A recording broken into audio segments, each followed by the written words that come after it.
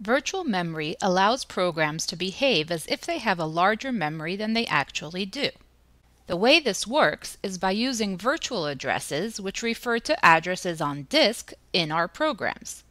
The virtual addresses are translated into physical addresses using the page map which is a lookup table that has one entry per virtual page. The page map knows whether the virtual page is in physical memory and if so, it immediately returns the physical page number. If the page is not in physical memory, then this causes a fault which means that the virtual page must be brought in from disk to physical memory before it can be accessed.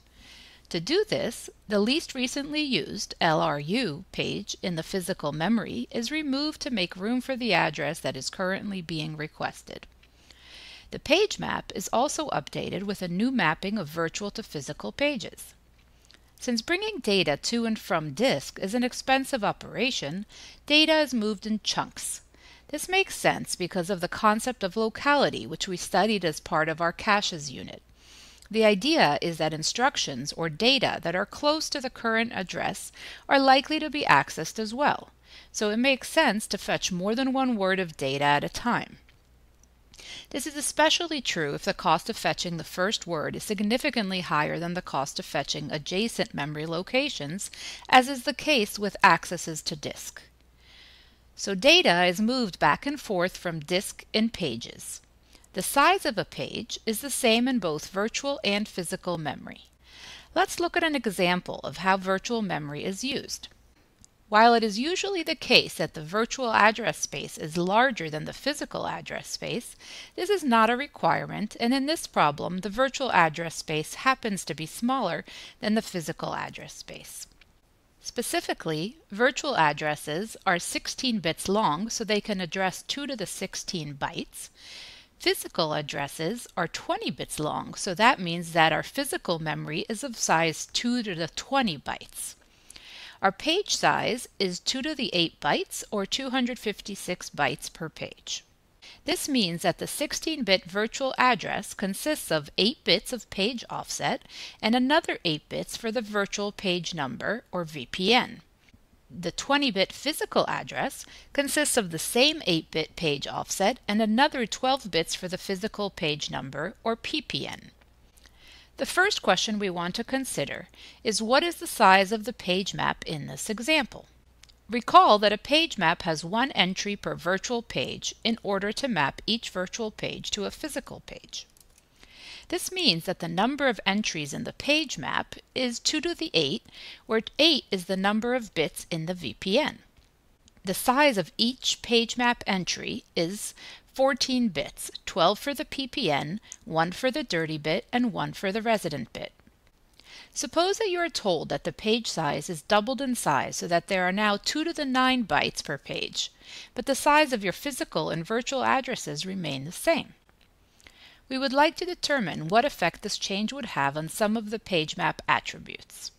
The first question is, how does the size of each page map entry in bits change? Since the size of a physical address continues to be 20 bits long, then the change in page offset size from 8 to 9 bits implies that the size of the PPN decreases by 1 bit from 12 to 11.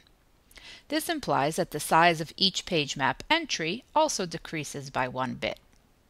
How are the number of entries in the page map affected by the change in page size? Since the number of entries in a page map is equal to the number of virtual pages, that means that if the size of each page doubled, then we have half as many virtual pages. This is shown in the size of the VPN, which has decreased from 8 to 7 bits. This also means that the number of entries in the page map have halved in size from 2 to the 8 entries down to 2 to the 7 entries. How about the number of accesses of the page map that are required to translate a single virtual address? This parameter does not change as a result of the pages doubling in size. Suppose we return to our original page size of 256 bytes per page. We now execute these two lines of code, a load followed by a store operation. The comment after each instruction shows us the value of the PC when each of the instructions is executed. So it is telling us that the load instruction is at address 0x1FC and the store instruction is at address 0x200. To execute these two lines of code, we must first fetch each instruction and then perform the data access required by that instruction. Since our pages are 2 to the 8 bytes long, that means that the bottom 8 bits of our address correspond to the page offset. Notice that our instruction addresses are specified in hex, so 8 bits correspond to the bottom two hex characters. This means that when accessing the load instruction, the VPN equals 1, which is what remains of our virtual address after removing the bottom 8 bits. The data accessed by the load instruction comes from VPN 3. Next, we fetch the store instruction from VPN 2. And finally, we store an updated value to VPN 6. Given the page map shown here, we would like to determine the unique physical addresses that are accessed by this code segment. Recall that the four virtual addresses that will be accessed are 0x1FC, which is in VPN 1, 0x34C, which is in VPN 3, 0x200, which is in VPN 2, and 0x604, which is in VPN 6. Assume that all the code and data required to handle page faults is located at physical page 0. Your goal is to determine the five different physical pages that will get accessed and the order in which they will get accessed by this code segment. We begin by looking up VPN1 in our page map. We see that its resident bit is set to 1. This means that the virtual page is in physical memory and its PPN is 0x007. Thus, the first physical page that we access is page 0x7, and the first physical address is determined by concatenating the PPN to the page offset. This results in a physical address of 0x7FC. Next, we want to load the data at virtual address 0x34C, which is in VPN 3. Looking up VPN 3 in our page map, we find out that it's not resident in physical memory. This means that we need to make room for it by removing the least recently used page from physical memory.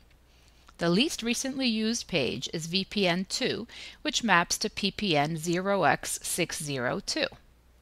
Since the dirty bit of our LRU page is 0, that means that we have not done any writes to this page while it was in physical memory, so the version in physical memory and on disk are identical.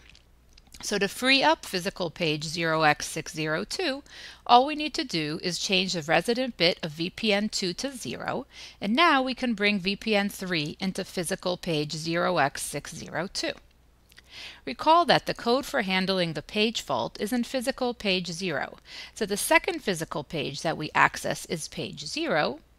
The updated page map after handling the page fault looks like this where the resident bit for VPN2 has been set to 0, and PPN 0x602 is now used for VPN3.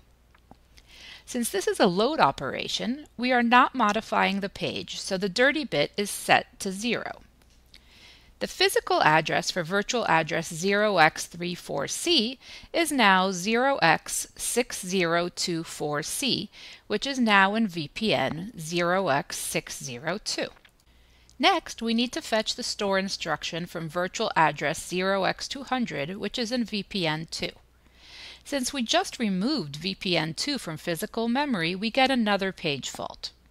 This time, we will remove the next LRU page from physical memory in order to make room for VPN2 once again.